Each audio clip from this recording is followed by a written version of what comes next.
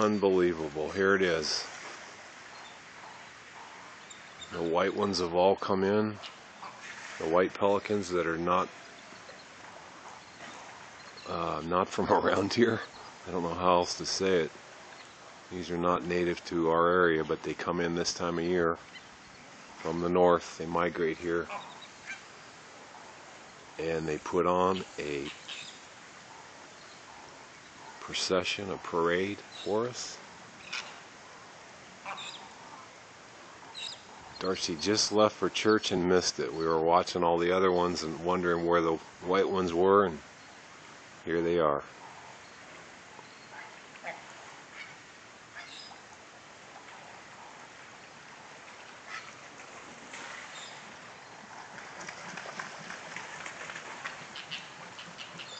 This is a mystery to everybody. We don't know exactly what they're doing. It's some kind of a ritual that they do.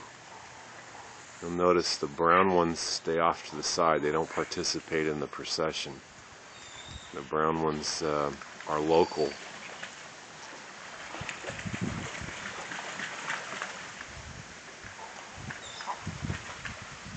Got one brown one in the middle there. He's trying to get out. The white ones are much bigger.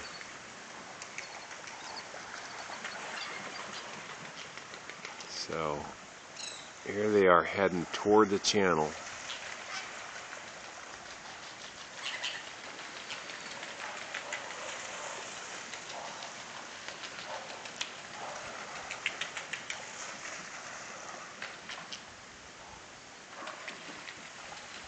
You notice they're not feeding they're not diving in like the brown ones do. See the brown ones flying over the top of them? Those are all brown pelicans. They don't participate with the white ones. And the white ones do not feed. All they do is parade.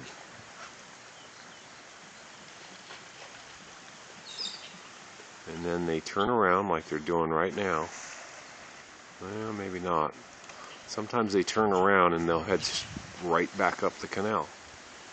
And then they get up to the end, up to Minuteman Road, and they turn around again and they come back down.